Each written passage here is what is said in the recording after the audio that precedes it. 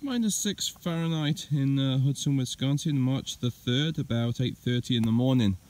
The sun hasn't reached the um, around to, to be facing directly from the south yet, but this just illustrates how much you can tell with these little tiny upper entrances I have. I've got the corks um, reduced, as you can see, and you can tell that this hive is alive because uh, and this one and this one and this one and then this one is dead. And that is because the process of, of uh, the little bee, bee breaths getting frozen when it gets to be like from like minus um, whatever Fahrenheit up until about five or six Fahrenheit the these will freeze off with the bee breaths in the in the night and then in the morning when the sun comes around if there is any sun and the sun lands on the front it actually actually starts to melt out just because of the heat that gets absorbed on the front. And it all and that's all I really need to know to know if these bees are, are alive or not. Here you can see this one I'm pretty confident is is dead.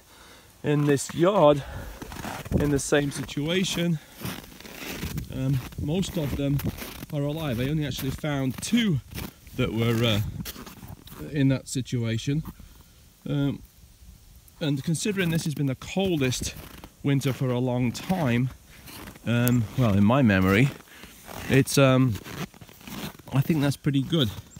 I'm trying something different with these, with a with a lower uh, entrance at the bottom. But if I was doing this again, I'd make the entrance at the bottom a bit a bit wider. This couple of inches um, isn't very isn't very much. It seems kind of uh, like it might be too too small and had one hive uh, suffocate early on when the bees dropped down.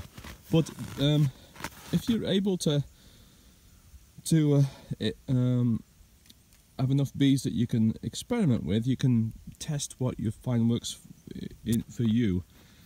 Now, um, my th my thoughts are that that why I don't have an entrance at the very top like some people do is is that it just doesn't seem to make sense to me to let the heat that they accidentally make or incidentally make I should say during the process uh, disappear so this is like a little little compromise and it's worked it's worked well enough for me. I can't claim that uh, that I, I, I thought it thought it out. It's just a, uh, um, a happy um, success. Now some uh, I was talking to somebody else last night who's got nucs, and and her observation was that she got she got um, holes, but she had them completely open, and they were they were an inch, and and she'd got some that had been shielded by reflectix, and those were alive, and the ones where she hadn't got them shielded by reflectix were dead, and so I think that's because there's a there's a balance of how much ventilation you need versus um, how much draft you actually end up getting if you have a hole in your box somewhere. So um, that's a that's about it. I'm looking forward to spring. It is way way too much cold for, for uh, my liking.